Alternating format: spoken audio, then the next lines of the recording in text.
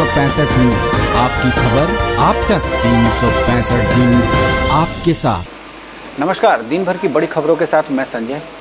आइए डालते हैं दिन भर की बड़ी खबरों पर एक नज़र। धरती आबा भगवान बिरसा मुंडा के शहादत दिवस पर आज राजधानी रांची समेत पूरे राज्य को उनको याद किया। कोकर डिस्टिलरी पुल और बिरसा चौक स्थित प्रतिमा स्थल से लेकर पूरे राज्य में उनकी याद में श्रद्धांजलि सभा का आयोजन किया गया।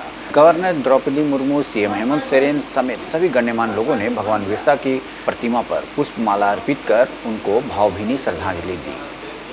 भगवान बिरसा ने हम सबों को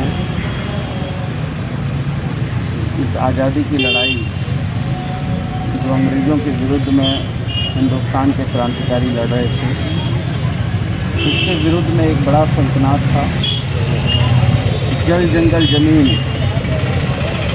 इस लड़ाई को लड़ने के लिए भगवान बिरसा ने लोगों को गोलबंद करने का काम किया था। और पहाड़ों के कंदराओं में, पहाड़ों में रहकर, जंगलों में रहकर इस आज़ादी की लड़ाई को लड़ा। उन्होंने आदिवासी, पिछड़े, गरीबों के न्याय की लड़ाई लड़ी। और आज हम आदिवासियों के जो हित को देखते हैं तो कहीं ना कहीं भगवान बिरसा हमको याद आते हैं।